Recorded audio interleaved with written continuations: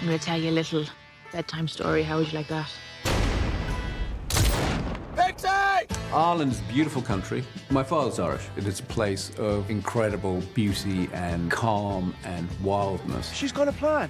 I know it. What, and you think it involves us? Don't you worry about that. The landscape is just unbelievable. It was a backdrop. I really wanted to be a character in the film. I think we might be getting a little deep here.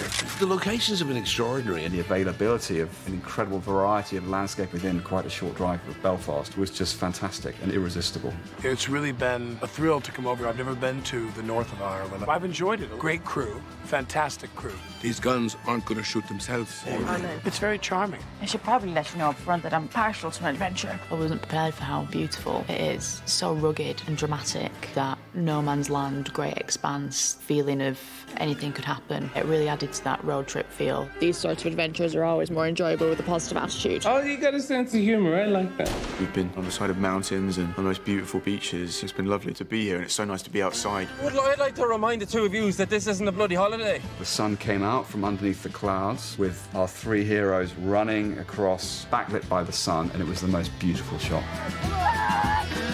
There's a sequence where they're driving towards Linan. Every time I see it, it just bowls me over. It's been some great locations. They bring the film to life. This film is a great Irish film, and I had a great time filming here. Discovering Northern Ireland was a revelation for me. However many roads you travel, I hope that you find some way to break the rules and make a little trouble out there. It's funny, it's moving, they're wonderful characters. Most of all, very entertaining. She is quite something.